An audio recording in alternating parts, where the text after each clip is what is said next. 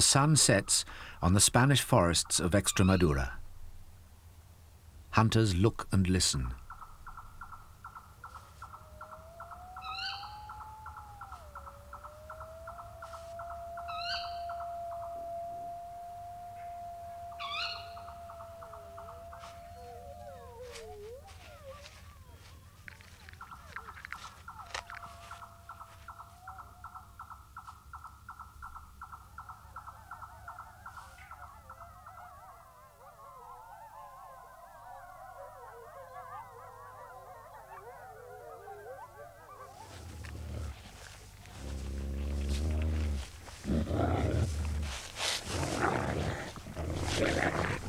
Wolves in their lean summer coats gather at a kill.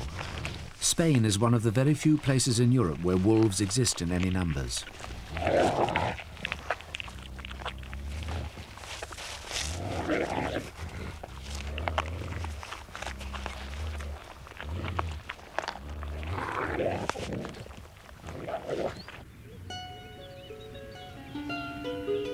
Daybreak and the sun dispels the mists, slowly laying bare the hills of western Spain.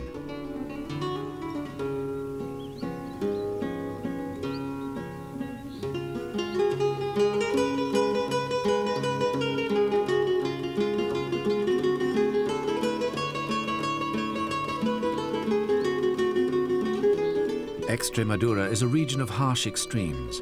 In winter, cloaked in freezing mist. In summer, parched and sun-scorched.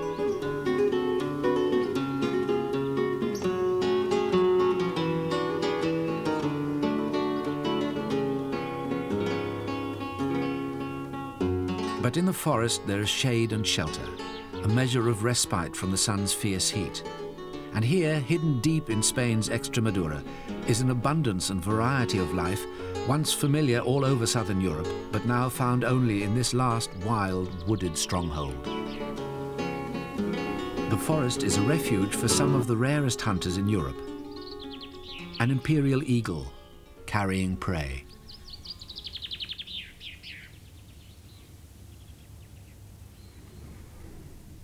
Extremadura lies along the Portuguese border. The forest where the eagles live covers around 150 square miles.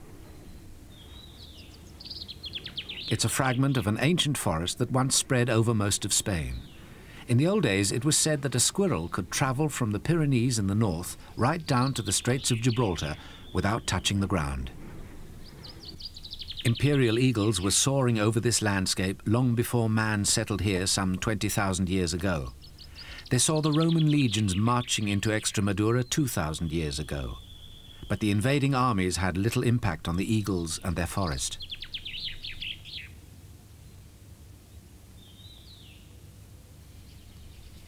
In time, the Romans were driven out by the Spanish.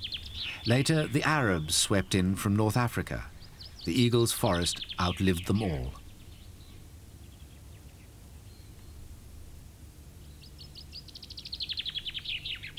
In the 16th century, the conquistadores left the poverty of Extremadura to plunder the golden cities of the Incas, and still the trees slept on. Then the rot set in. Over the last few centuries, the forest has been falling fast to the axe.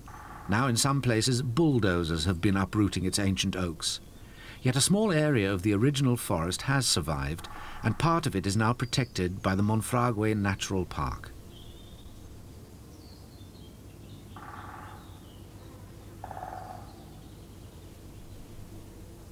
In the 1930s, Monfragüe's remote gorges offered a refuge to anti-Franco partisans. Now these rocky places are the sanctuary of a very special bird.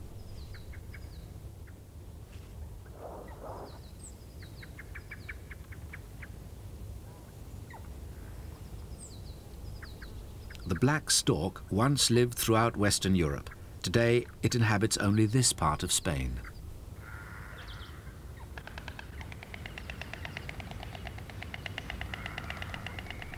While its relative, the white stork, has adopted the habit of nesting on buildings in many European countries, the black stork nests only in old, undisturbed forest areas with streams and pools.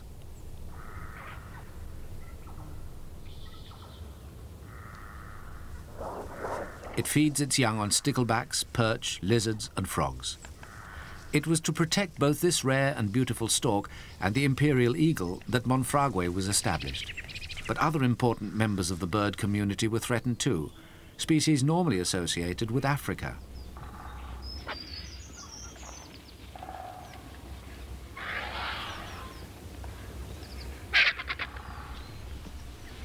Black and griffon vultures are present in great numbers. There's a feeling of Africa here, not only in the far horizons, but in the abundance of hunters and carrion eaters. They gather at carcasses, sometimes left by wolves. Only in this part of Western Europe do vultures and wolves live in any significant numbers today. The question is why? Our investigation begins with the forest itself.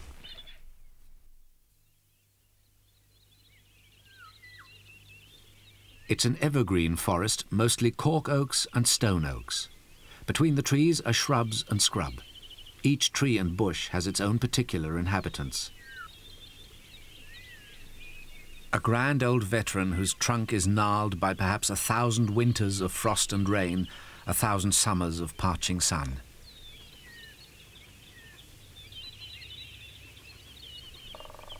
The oak forests attract many migrants from Africa. The short-toed eagle comes to breed here.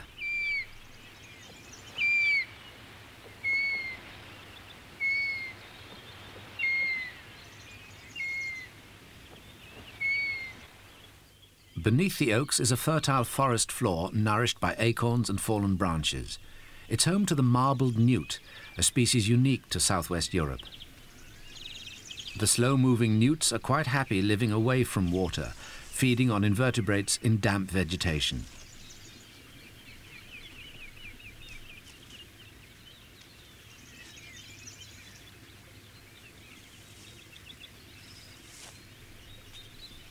Psammodromus, a type of sand lizard, needs to be quicker off the mark to catch its prey, grasshoppers.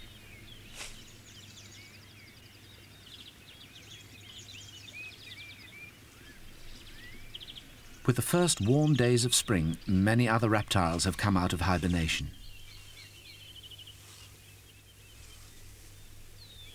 Grass snakes grow to five feet in this part of Spain. Ladder snakes, which are tree climbers, reach as much as six feet in length.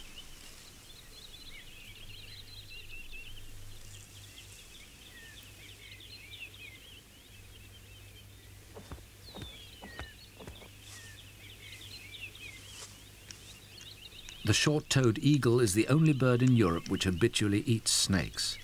It arrives in the cork oak forests in mid-March.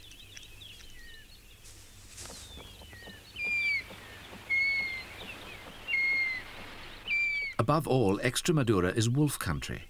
Wolves move in and out of the region through the mountains. Altogether, perhaps eight or nine packs roam the oak forest at any one time. Despite its reputation, the wolf has a more relaxed social side. Being pack animals, they spend a considerable time socializing. They roll in each other's scent, and there's a dominance hierarchy. The pack member on the right is indicating his submission to the top, or alpha female.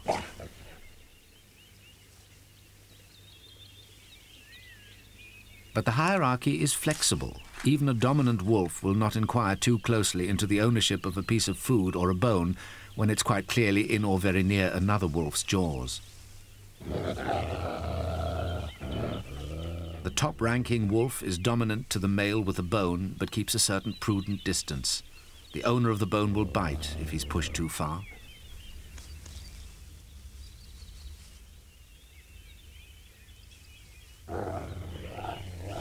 Yet on another occasion, the alpha male shows another male just who is in control.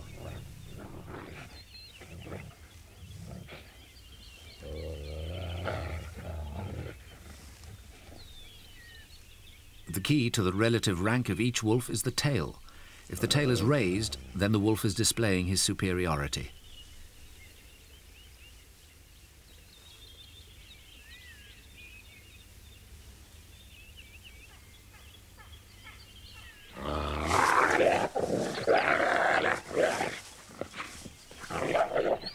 Although the oak forests of Monfragüe afford the wolf some protection from hunters, its safety outside the conservation area is by no means assured. Wolves are protected throughout Western Europe by the Berne Convention. Although Spain has signed the convention, various regions have subsequently decided to strip the wolf of its protected status.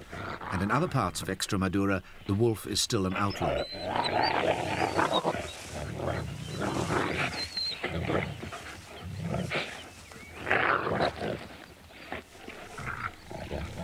Spring is the mating season. The alpha female is pregnant, and at this stage the pack members are playful, perhaps in anticipation of the arrival of the pups when they'll all have to cooperate.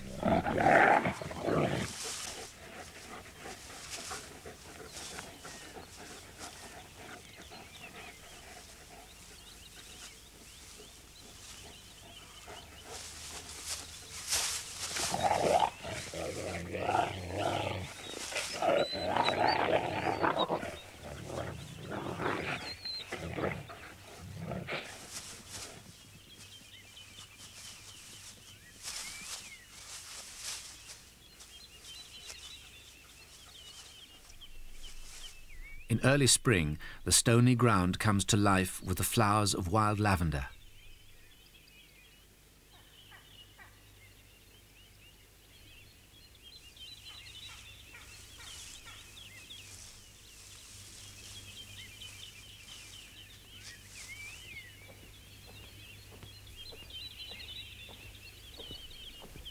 The short-toed eagle is nesting now.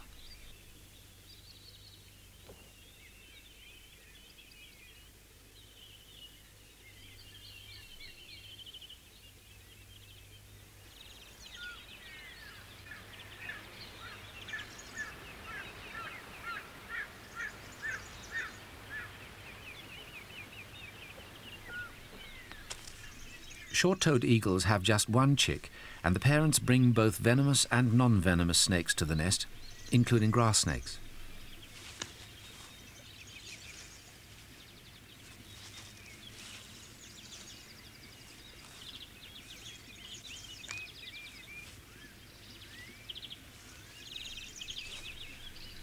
The eagles invariably choose a cork oak to nest in. In this part of the forest they have little choice. This is the only cork tree here because the area has been planted with Australian eucalyptus, spindly trees that don't grow large enough in the poor soil to hold a nest.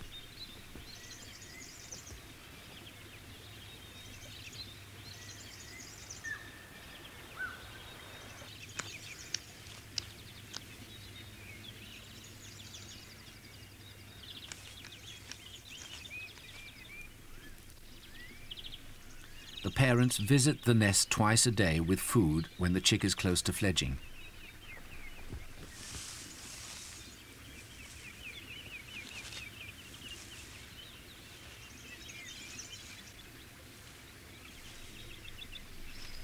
Not a snake, but an ocellated lizard.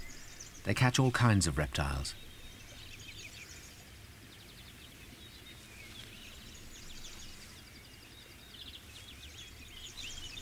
It's hard to appreciate how much the surrounding forest has changed without seeing it from the air. In the 1970s, before the region was protected, the oaks were felled and eucalyptus planted in their place. It's been a disaster. The eucalyptus has been ravaged by pests and has not provided economic returns. With the removal of ground cover, there is now serious soil erosion and gullying, and the water table is falling.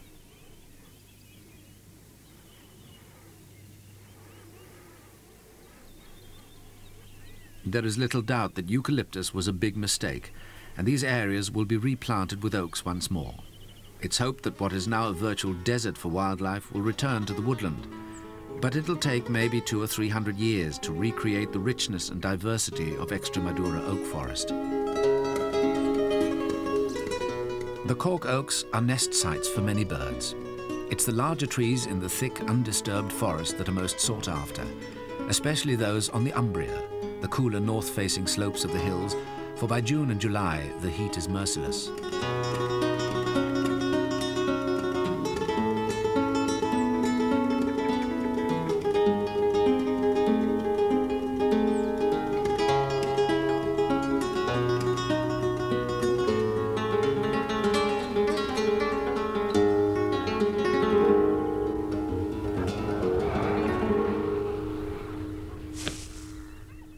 Vulture has brought not food but water to her chick to help it stay cool.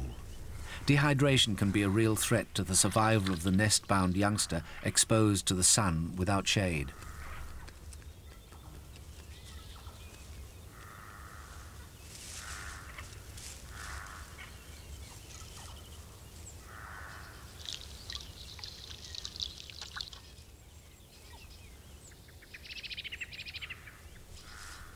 The young black vulture is about three months old and within a week or two of becoming a fully fledged member of the largest black vulture population in Europe. It'll join over 200 breeding pairs and at least as many immature birds in Extremadura. The adult shades her chick from the sun, panting as she takes the full brunt of the intense radiation. Her wingspan is nearly eight feet, which makes her the largest bird of prey in Europe.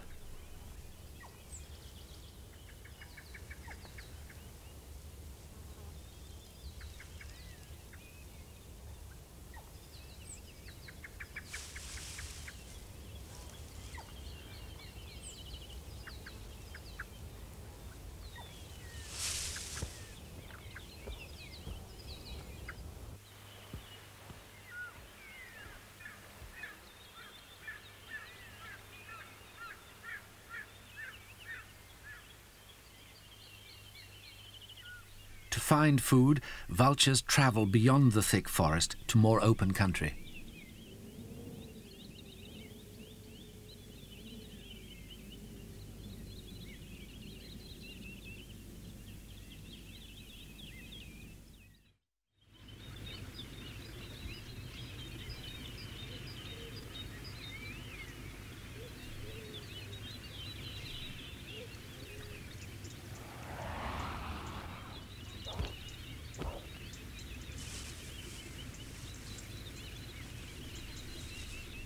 Early in the year, black vultures are more preoccupied with display and establishing a pecking order than the actual business of feeding. Only one or two vultures will feed at a time. The others are more concerned with trials of intimidation.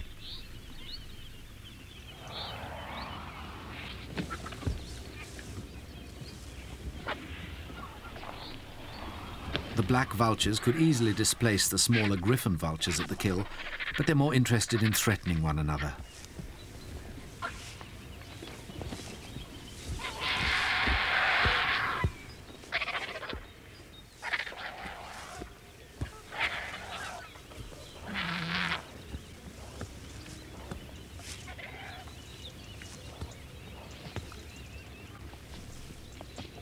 Ravens arrive for the pickings.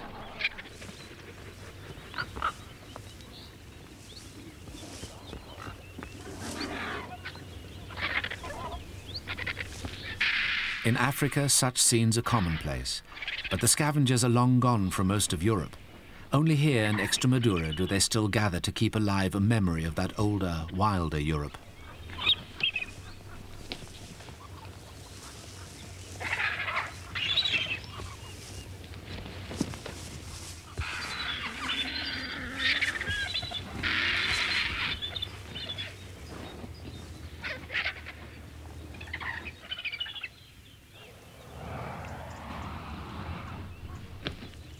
A latecomer griffon vulture tries to force a way in to pick at what's left on the bones.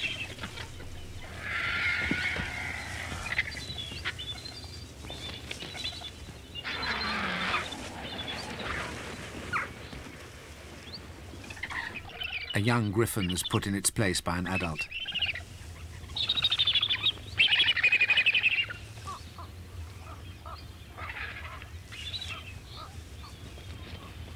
There are nearly 700 pairs of griffon vultures in Extremadura, but they've never been known to nest in cork oak trees. They set their sights a little higher.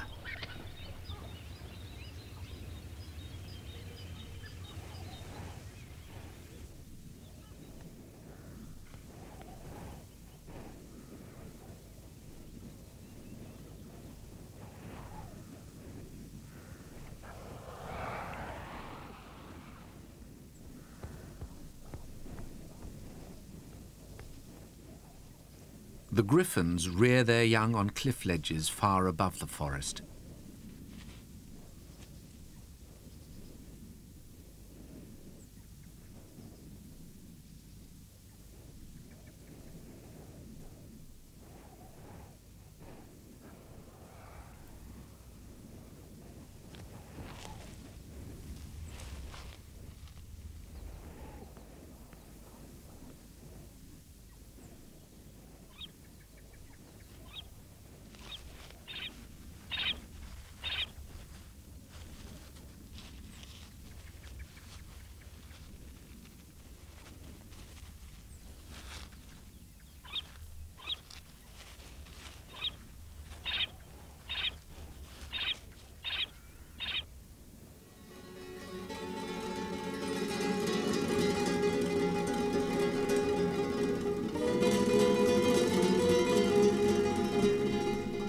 Both black and griffon vulture populations are increasing in this part of Spain.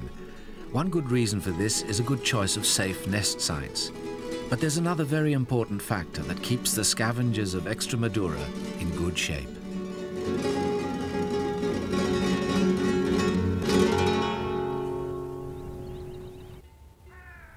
Every year in Extremadura, a great seasonal movement of livestock takes place. The Spanish call it the transhumancia. This ancient practice dates back to before recorded history. The drovers still use the first roads ever built here, Roman ones. The transhumancia is a passage of animals between winter and summer pastures. Great numbers of animals are involved, several million cattle, goats and sheep altogether, and the distance between pastures is sometimes hundreds of miles.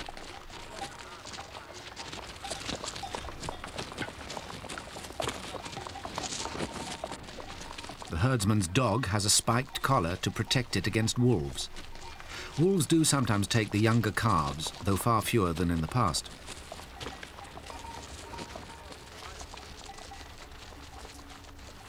The livestock escapes the worst of the summer heat up in the mountain meadows or by moving to areas with a large and permanent water supply.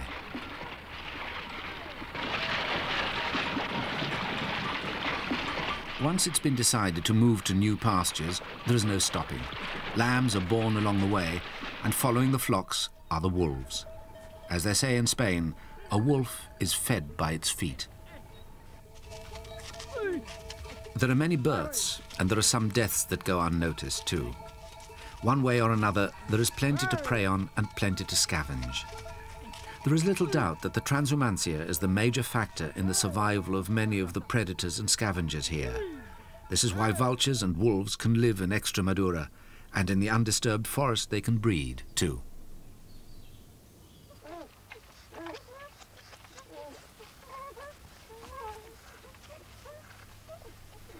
These pups are just two days old.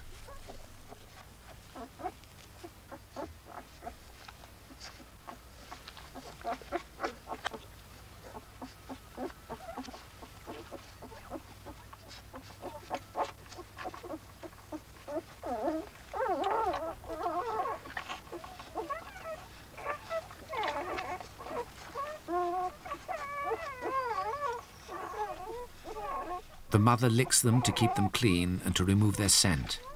During the wolf's breeding season, shepherds and their dogs will search for the dens to destroy the litters. The less scent, the less chance of discovery.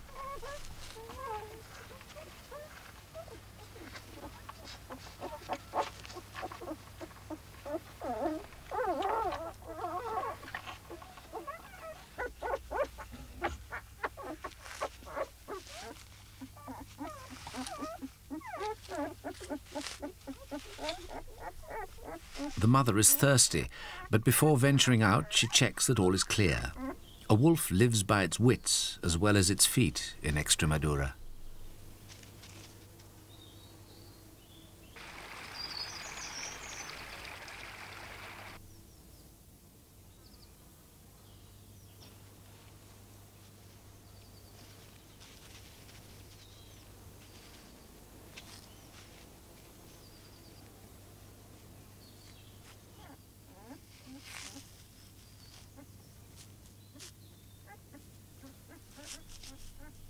The she-wolf suckles her pups for about six weeks.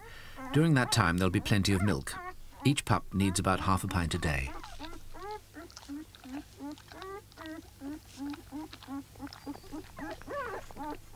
The suckling produces a secretion in her mouth which stimulates her to lick her pups.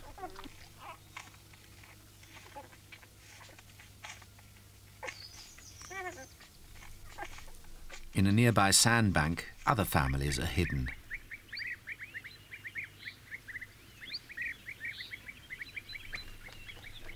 A colony of bee-eaters, brilliant summer visitors from Africa which have tunneled deep into the bank to raise their young.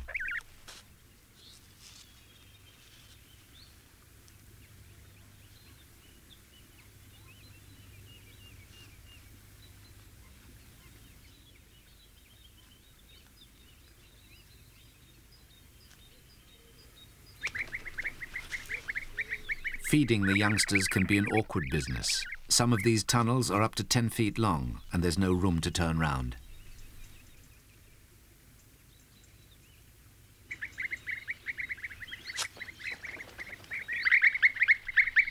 The bee-eater's tunnels are proof against all predators except for one. A ladder snake is on the prowl.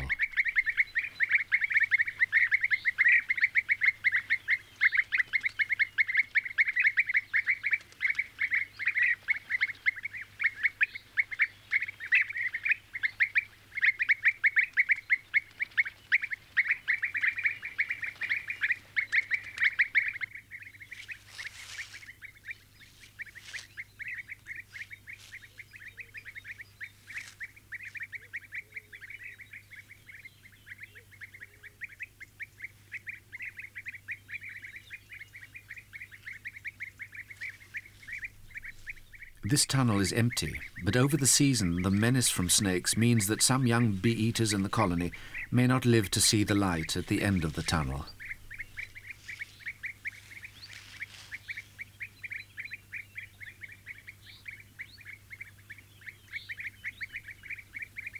The steeper areas of Extremadura have been left undisturbed because people have been able to make little use of them over the centuries. It's the flatter areas that have been exploited. Here the trees have been thinned to provide a sort of parkland which is rather like African savanna. In Extremadura it's known as dehesa. The dehesa is a system of agriculture as old as the Transhumancia and is found only in Spain, Portugal and North Africa. The land is ploughed every four years. Until recently this was done with oxen. Then a cereal crop is sown between the oak trees if the soil permits. Over the next two years, pasture is allowed to grow, and finally in the fourth year, the land is left fallow. This rotation of the dehesa means regular winter grazing for the transhumancia. The oaks provide shade for the animals and for the grass. They also help to hold water in the poor Extremadura soils. Tree branches are cut to make charcoal and provide fodder for goats. But a law of the Dehesa prevents overexploitation, which is fortunate because the trees, and in fact the whole system, also provide a great resource for wildlife. Several kinds of evergreen oaks grow here. The small oaks are browsed and become thick bushes, nibbled by goats into a natural topiary. One day, a bush will sprout at its centre and grow up into a full-blown tree.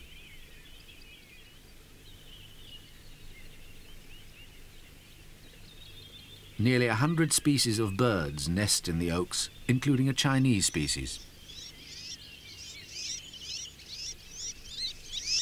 The azure-winged magpie's main habitat is around Beijing, so it's always been something of a mystery to find it in this part of Spain. There is a theory that it was brought back from the east by early Spanish traders. A more plausible explanation is that the magpie's range once stretched all the way across Europe and Asia, over thousands of years, it declined, leaving the two populations continents apart. The azure wings have to contend with a host of predators hunting among the Dehesa oaks.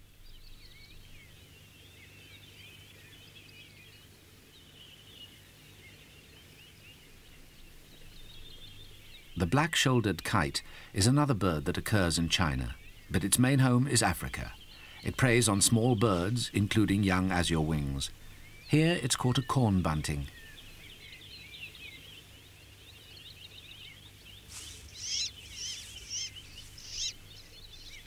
Azure wings nest close to one another in the trees, almost in colonies, so there are always several parents on the alert.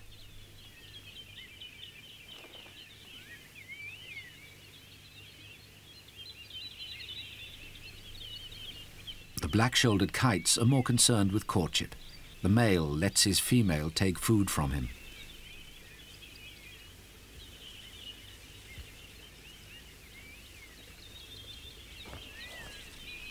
But it's not the kites that have caused the alarm.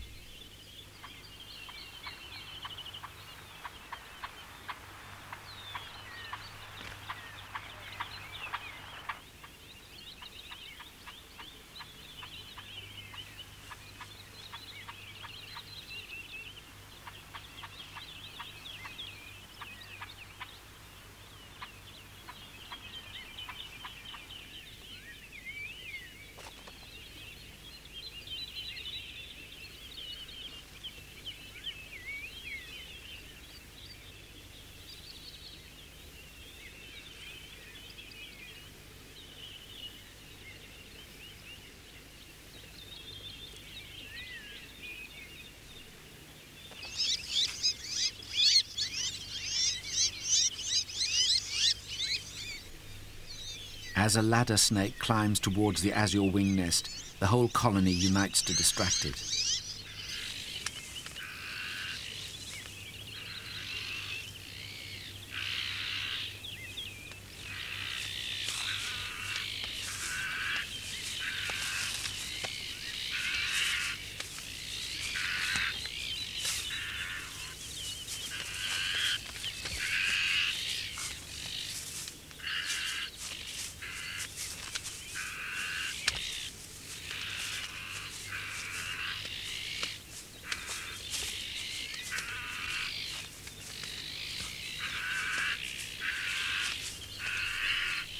The young are crouched down in the nest, and the snake seems to have missed them.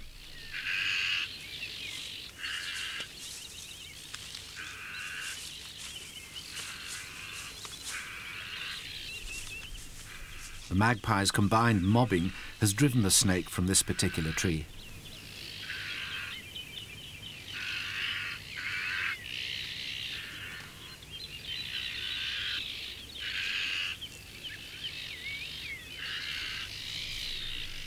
Away from the trees, out in the open, it's the snakes that are vulnerable.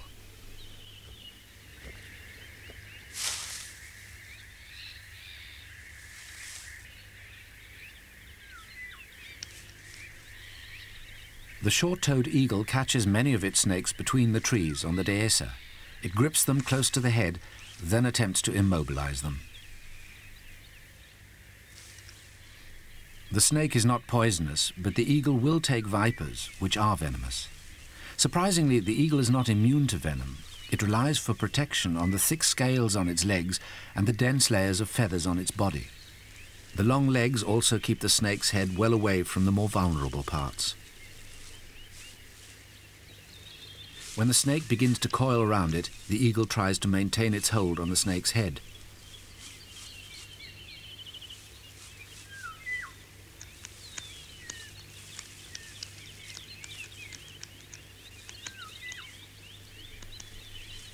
Catching a ladder snake is one thing, swallowing it is quite another.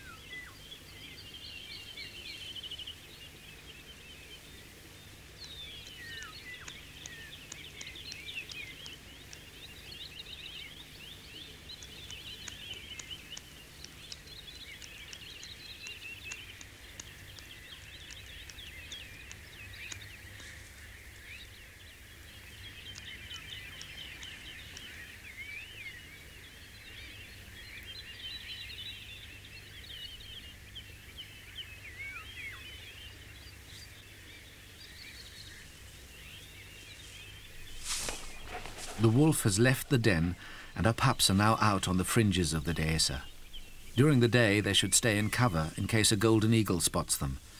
But like all young puppies, they're inquisitive and keen to explore.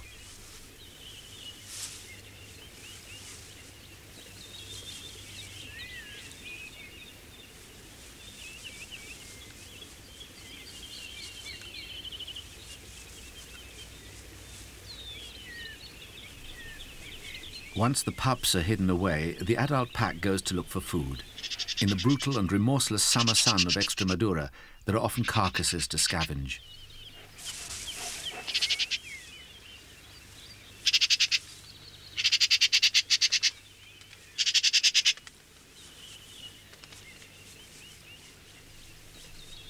The pups hear the mother returning and come out to be fed.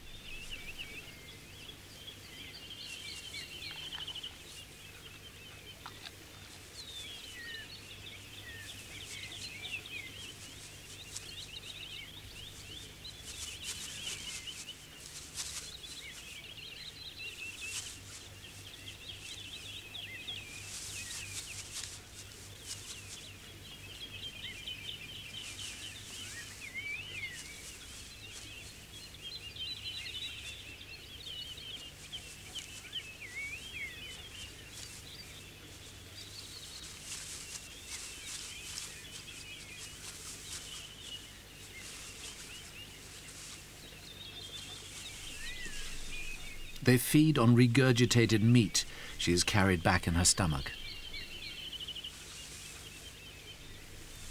When the rest of the pack arrives, the mother discourages the male wolves from approaching too closely while she feeds the pups.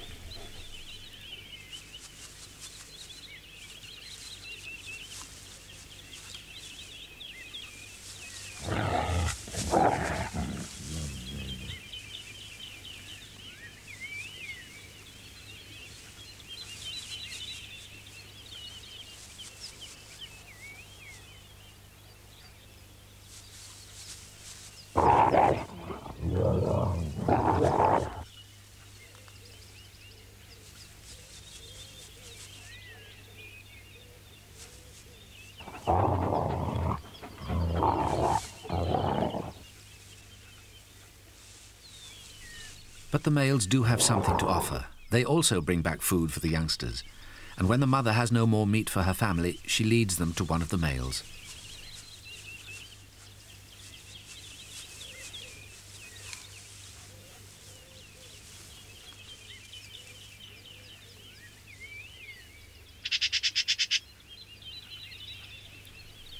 Common magpies feed on any scraps left on the ground.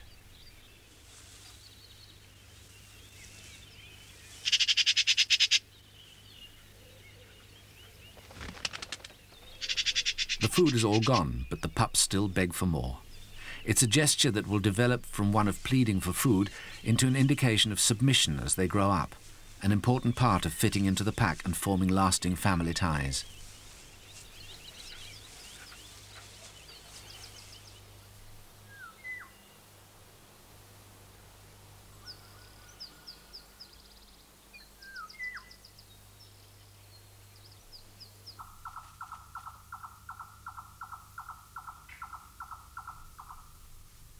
As dusk falls, a little owl takes a mole cricket from her mate.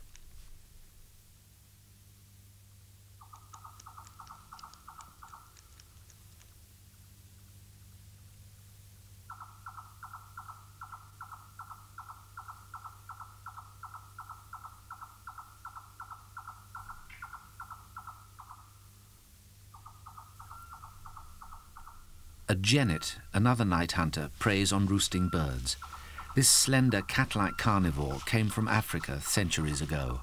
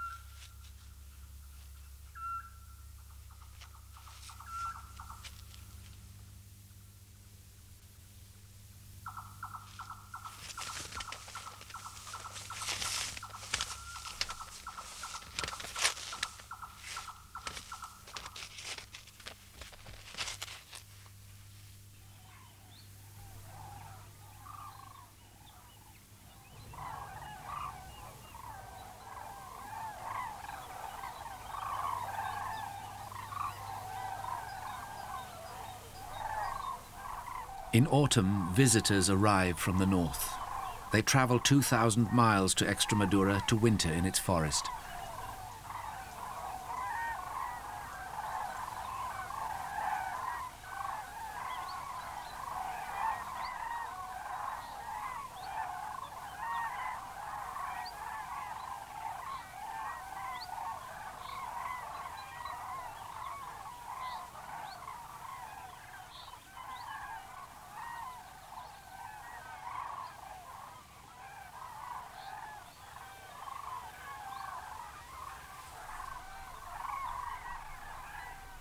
Over 40,000 European cranes migrate here each year.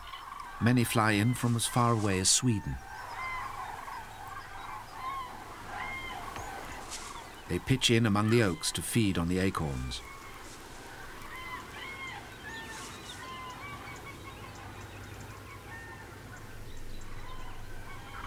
On the Dehesa, a single oak can yield almost 90 pounds of acorns each year, and the cranes have been coming for many hundreds of years to reap this harvest.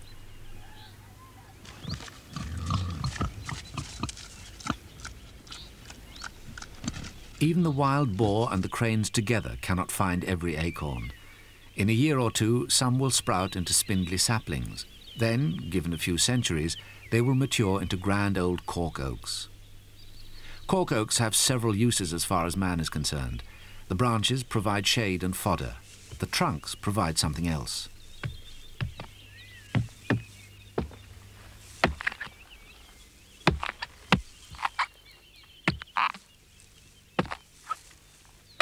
Every 10 years, the trees are stripped of their bark.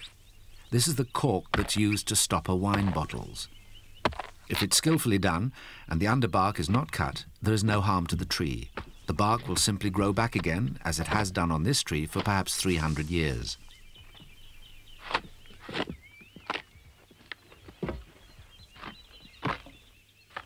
With exports of cork from Spain netting 9,000 million pesetas a year, the Dehesa might appear to be a profitable system.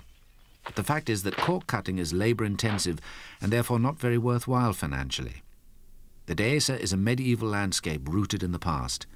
If allowed to continue, it might go on producing cork and sheltering some of Europe's rarest birds forever. But the pressures to modernise are everywhere. If that should happen, the outlook for the Dehesa and its wildlife will be grim indeed.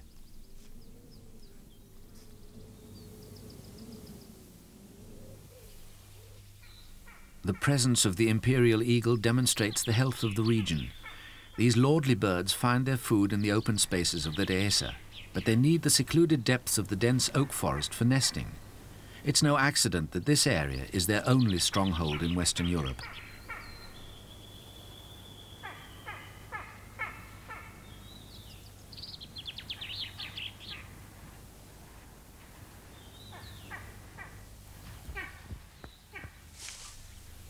Invariably, the nest is in a cork oak tree. The imperial eagle is closely related to the golden eagle, and it's often difficult to distinguish the two in flight. The main difference is the greater length of the imperial's tail and the white leading edge of its wing.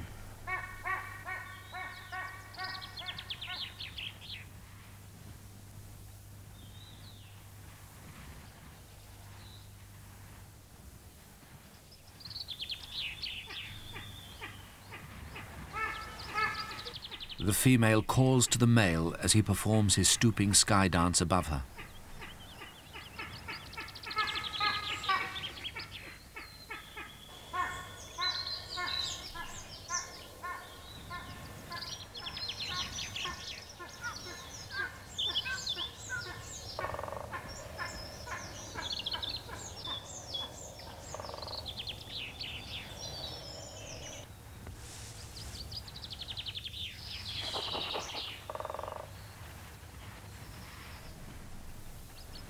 Stump of an old cork oak is their mating perch.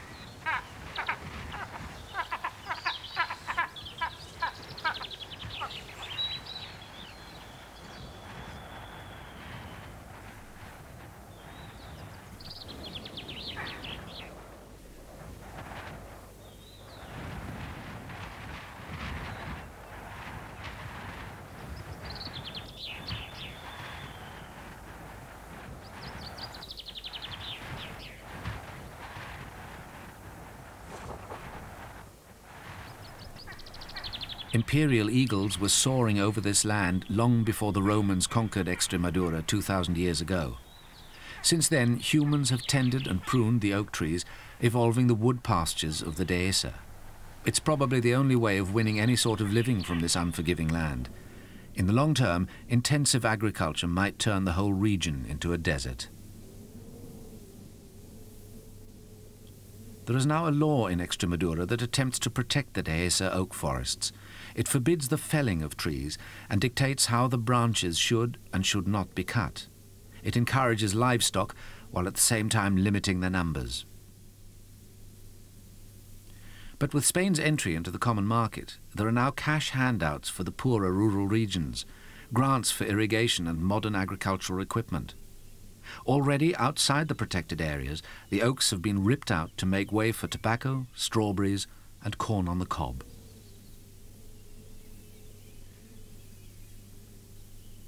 In the end, the survival of the Dehesa depends on political decisions. The ultimate answer may be to subsidize the traditional agriculture. Hard cash is probably the only way to maintain these unique landscapes.